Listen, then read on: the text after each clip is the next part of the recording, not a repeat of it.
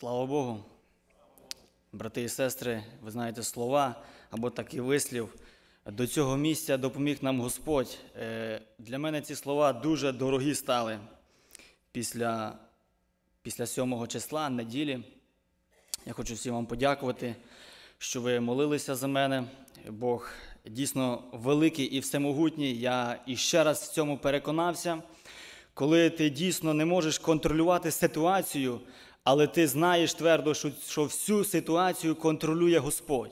Коли ти довірив своє життя в руки Його, і ти твердо знаєш, що що би не сталося в житті, все є під контролем Господнім. І я в цьому переконався, будучи в тому дневі. Хотів би трошки розказати, щоб прославилося тільки ім'я Господнє, адже Він достойний слави.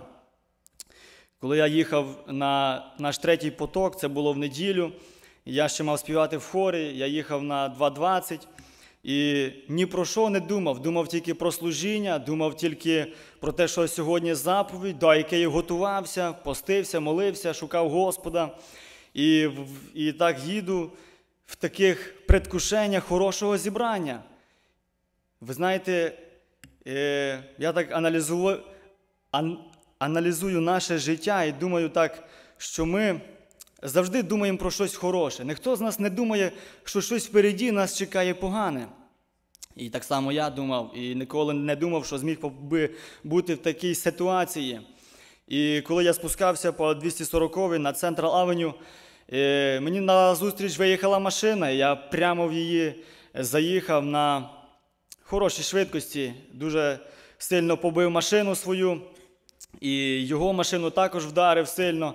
І там рядышком стояв стовп, я вдарив і його машину, і вдарив того стовба, і мене від того відкинуло на другу на другу частину дороги. І там таке ограждення із цих камінь, і я там зупинився.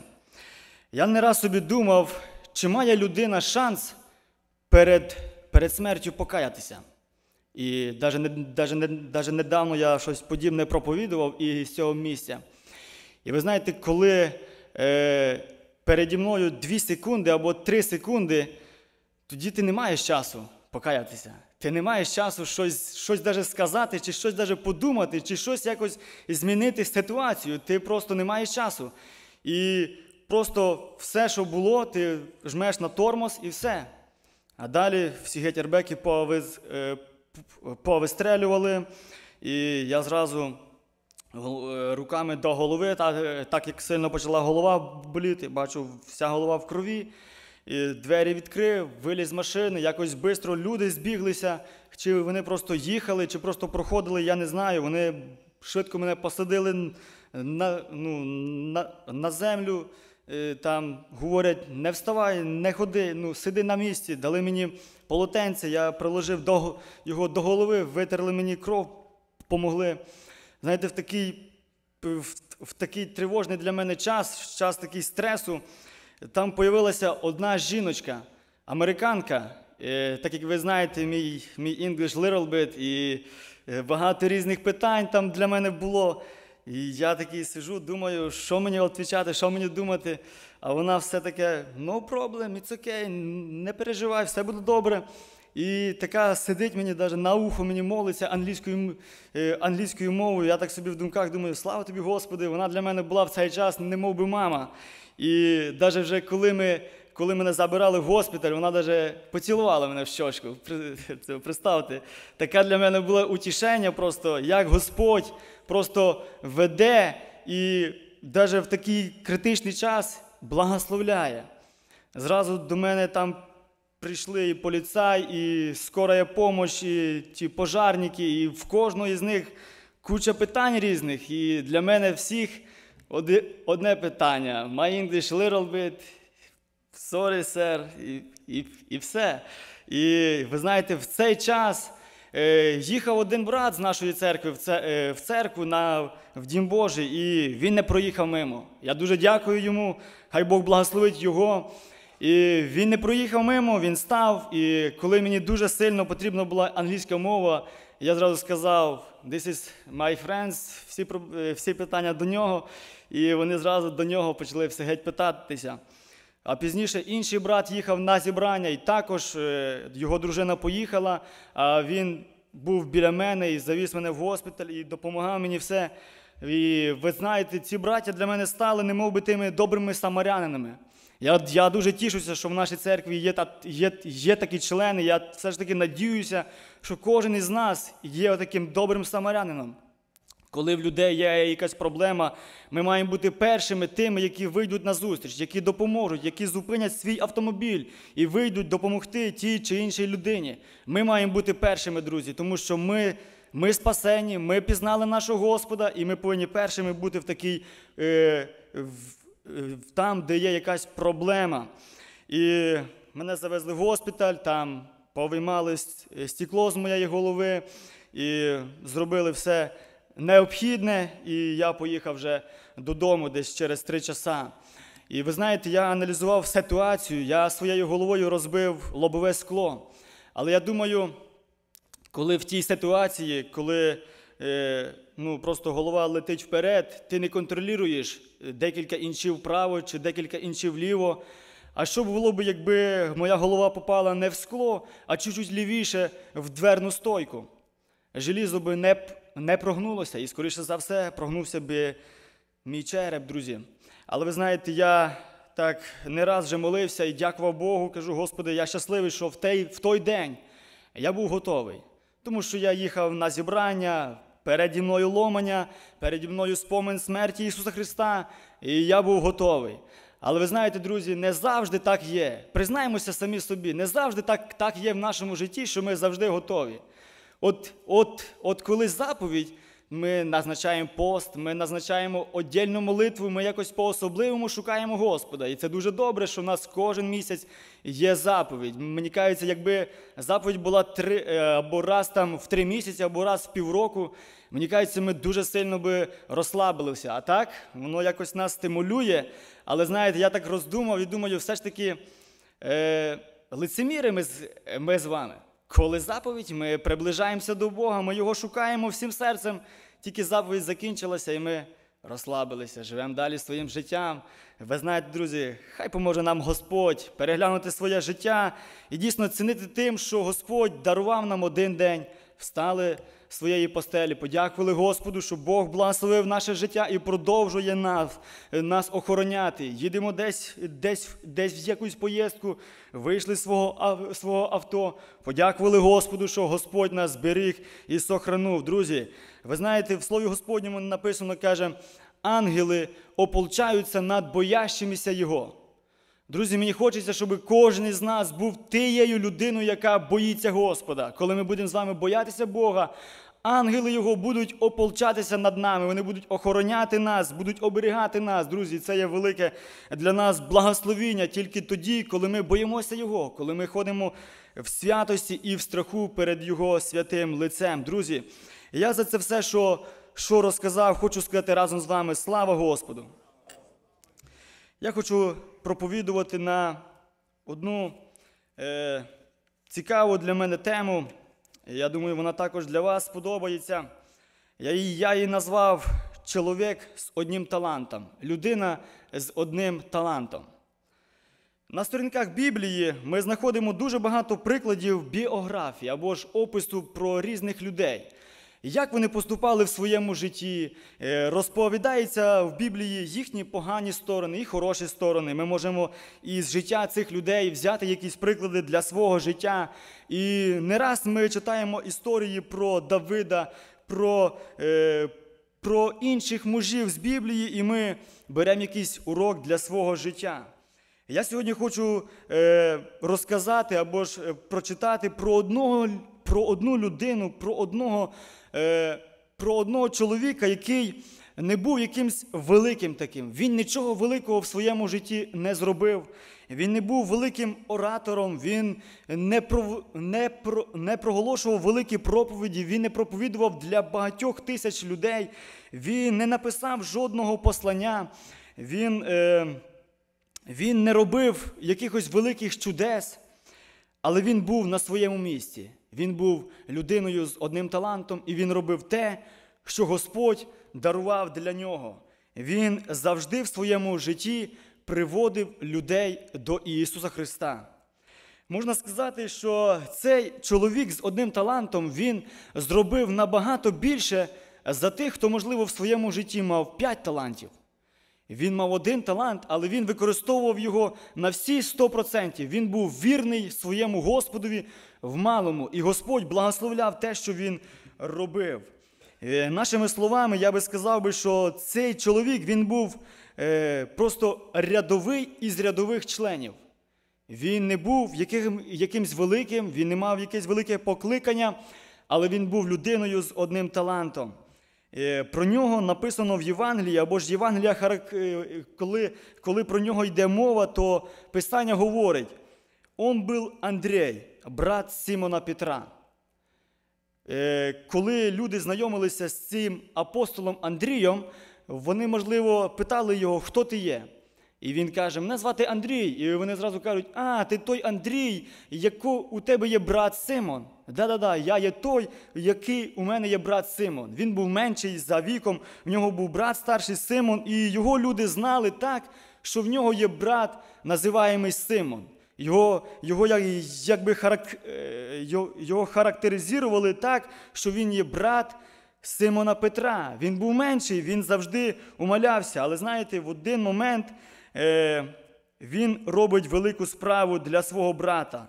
Давайте разом від, в- прочитаємо це в Євангелії від Іоанна, е, перша глава і, і 41 і 42 стихи. Он первый находит брата своего Симона и говорит ему, «Мы нашли Мессию, что значит Христос, и привел его к Ісусу». Коли ці два брата слідували за Іоанном Хрестителем, вони багато раз чули про Христа, про, про Ісуса. Але ось, наступив один день, коли вони зустрілися з Ісусом. Коли е, спочатку е, зустрівся з Ісусом е, Андрій, і коли він пережив цю зустріч із своїм Спасителем, він написано, він не просто знайшов Спасителя, знайшов Месію для свого життя і, і послідував за ним, і зовсім забув про своїх сімейних, про свого брата. Ні. Він написано побіг і покликав свого брата Симона, і написано привів його до Ісуса. Ми знаємо, що е, Іоанн він небагатьох людей привів до Христа, але він привів того, який впоследствії зміг проповідувати для багатьох тисяч людей. Він привів до, до Ісуса Христа ту людину, яка впоследствії змогла привести до спасіння і 5 тисяч людей, і 3 тисячі людей.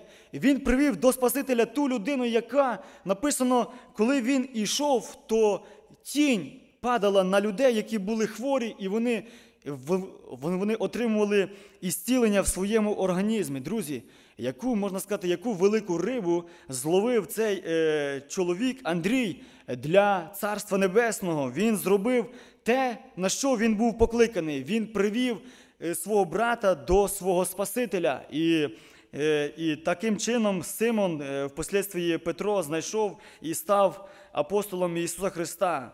Вдруге, де ми згадуємо, де Писання згадує нам про цього чоловіка Іоанна, ми читаємо в 6 в 6 главі е, Євангелії від, від Івана, 8 і 9 вірш. Один из учеников его, Андрей, брат Симона Петра, говорит ему, «Здесь есть у одного мальчика пять хлебов я- ячменных и две рибки». Мені кажеться, що в тій ситуації, ви пам'ятаєте, коли е, батьки приходили із маленькими дітками до, е, до от Христа, і вони всі хотіли слухати Його, то написано, що апостоли відганяли цих дітей від Христа, тому що вони заважали їм слухати Ісуса Христа. Але мені щось кажеться, що в, цім, в цій справі з ними не було апостола Андрія. Він рахувався із кожною дитиною. Він рахувався із самим маленьким хлопчиком, із самою маленькою дівчинкою. Він не считав оцих маленьких діточок як щось таке, що, що заважає, що, можливо, кричить, що, можливо, десь плаче. Він на це не звертав уваги. Він считався із кожною душею, яка є на цій землі. Я думаю, він не участвував у цих розгонах маленьких дітей. І ми бачимо, що коли було 5 тисяч людей, але апостол Андрій він зауважив, що це що серед цієї великого натовпу людей є маленький хлопчик, в якого є п'ять хлібів і дві рибки. Друзі, апостол він звертає увагу навіть і на маленьку дитину. Він рахується із маленьким хлопчиком. І написано, що він знову виконує своє доручення. Він бере цього маленького хлопчика і веде його до Ісуса. Він виконує своє призвання, Він виконує те, що йому доручив Христос. Він приводить людей до Христа. І втретє, де ми читаємо про нього, три рази згадано про нього в Євангелії, не читаючи те, де перечислення йде імен апостолів. Е, читаємо з вами в Євангелії від Івана, 12 глава, і, і, і з 20 верша. «Из пришедших на поклонение в праздник были некоторые елены. Они подошли к Филиппу, который был из Вифсаиды Галилейской, и просили его, говоря, «Господин, нам хочется видеть Иисуса». Филипп идет и говорит о том Андрею, и потом Андрей и Филипп сказывают о том Ісусу. Я уявляю собі цю картину, коли прийшли на поклоніння оці гелени, оці люди, які були е, з іншого народу. І Филип, знаючи тонкощі їхнього закону, він знав, що Месія він прийшов тільки для от Ізраїля, тільки для погибших дому Ізраїлевого.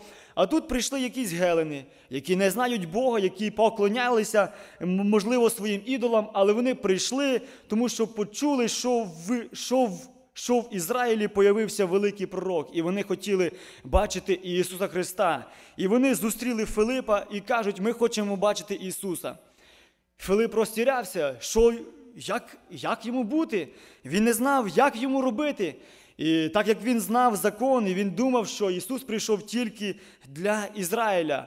І він вирішує цю ситуацію таким образом, що він йде до простого свого друга, свого е, свого співпрацівника, апостола Андрія. І він думає, цей чоловік він є простий, він він дуже дуже гарно спілкується з людьми, він знаходить общу мову з людьми, він не рахується навіть з маленькими дітками, він мені допоможе. І він він йде до до Андрія, і, і вони разом ведуть оцих людей до Христа. Друзі, брати і сестри, для нас цей приклад життя оцього апостола е, Андрія є дуже, дуже актуальним. Цей чоловік він в своєму житті е, не зробив чогось такого великого, але він зробив те, на що його покликав Христос. Він завжди, коли йому зустрічалися люди, він їх приводив до Христа. Не щось таке велике, просто взяв людину і привів до Христа. І вже далі Ісус робив свою працю із цими людьми. Ви знаєте, друзі, брати і сестри, нам в нашому житті потрібно мати своє служіння. Потрібно бути вірними нашому Господові в тому маленькому, що довірив наш, нам наш Господь. І це є дуже важливо, друзі, знайти себе в своєму служінні, знайти те, що любить для нашого, е, для мого серця, що є приємне для нашого Господа. І коли ми будемо це робити, коли ми будемо робити те, на що покликав нас Господь, наш Господь буде дуже довольний цим. Мені пригадується історія про про одного пастора із із Шотландії. Е, цей пастор він е, служив для своєї церкви, виконував своє служіння, проповідував людям про Бога, але чомусь люди не каялися на його служіннях. І члени церкви, які були в нього, вони е, час від часу йому про це розказували, що як ти так служиш, що ти проповідуєш вроді і щось робиш, але люди не каються, немає ніякого толку із твого служіння. За один рік твоєї пасторської справи покаявся тільки один маленький хлопчик. Це дуже мало. І під час одного вечора, коли йому один із із, із старших членів його церкви про це е, розказав, або ж так докорив його, уколив його цим. І він в таких думках е, закінчилося служіння. І він схилився просто і думає про своє життя, про своє служіння, такий зажурений. І в той момент до нього підходить маленький хлопчик, якого він в цьому році привів до Христа. І він каже: Пастор, чи зможу я в майбутньому стати таким проповідником, як ти? І цей пастор він каже: Ти знаєш, ти утішив мене. Я думаю, ти зможеш стати не тільки проповідником, ти зможеш стати великим місіонером. І пройшло багато часу, багато років, і з Африки вернувся в Шотландію великий проповідник, великий місіонер, якого звати Роберт Моферт. Він привів тисячі людей до спасіння. Він переклав Біблію на ту мову для того народу, для якого він проповідував там, там в, цій далекій, е, в цій далекій країні. Багато людей про нього вже знали. Але ви знаєте, небагато людей знали про того пастора, який зміг привести цього маленького хлопчика до Христа.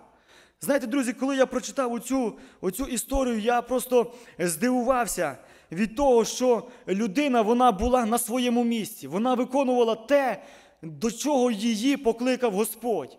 Можливо, е, для його очей його справа вона була не досить благословена. Він не бачив своїми фізичними очима великого благословіння. Він, можливо, не бачив плодів своєї праці, і він, і він так і, можливо, їх і не побачив. Він помер. Але він привів до Ісуса Христа маленького хлопчика, який пізніше привів до Христа тисячі і тисячі людей. Друзі, мій, мій поїнт про те, щоб ми з вами були на своїх місцях, щоб ми з вами виконували те служіння, до якого нас привів нас Господь. Я думаю, багато із нас, а особливо з, молодших, ми, ми просто задаємося питанням, Господи, що мені робити для Тебе? Що мені робити? Як мені прославити Твоє ім'я? І одного разу я прочитав дуже хороший вірш із книги Еклезіаста, і хочу для всіх вас, для всіх нас оставити його на згадку. Еклезіаста, е, 9 глава, 10 вірш. Все, что может рука твоя делать, по силам делай Потому что в могиле, куда ты пойдешь, нет ни работы, ни размышления, ни знания, ни мудрости. Друзі, все, що може рука твоя делать, делай. Я не раз це місце прак- е, практикую в своєму житті і так не раз молюся і кажу, Господи, я приїхав у цю країну, я не можу так сильно тут місіонерствувати, як і думаю, як і кожен із нас. Ми не можемо сильно е, якби, проповідувати для багатьох людей.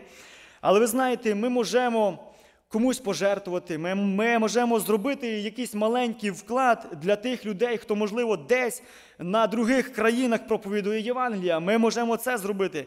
Ми можемо щось інше зробити те, що Господь буде нам вкладати в наш розум. Але важливо, друзі, що може наша рука робити? Ми повинні те робити. Ми повинні служити для нашого Господа. Друзі, це дуже важливо, це дуже благословенно, коли ми робимо свою роботу, ту, яку, для якої нас покликав наш Ісус Христос. Чоловік з одним талантом, друзі, можливо, в кожного із нас немає багато талантів, але можливо в мене і у вас є один талант, друзі. Служимо одним талантом, використовуємо його на 100%, будьмо в Богові нашому вірному в малому. І Господь написано над великим поставить нас. Перед нами, друзі, молитва. Я хочу, щоб ми молилися про те, щоб ми з вами були задіяні в винограднику Господньому, щоб ми з вами служили для нашого Господа. На- Написано в Слові Господньому в ревності не. Не, е, не лінуйтеся, вроді, духом пламенійте, Господу служите. Друзі, хай буде це в наших думках, в нашому серці, друзі. І друге, про що я хочу молитися, про те, щоб Господь ставив свою охорону над кожним із нас, над нашими дітьми, над нашими внуками, щоб його охорона була завжди із, на, е, і з нами, і щоб ми завжди перебували в служінні для нашого Господа. Давайте про це помолимося, а Богові слава. Амінь.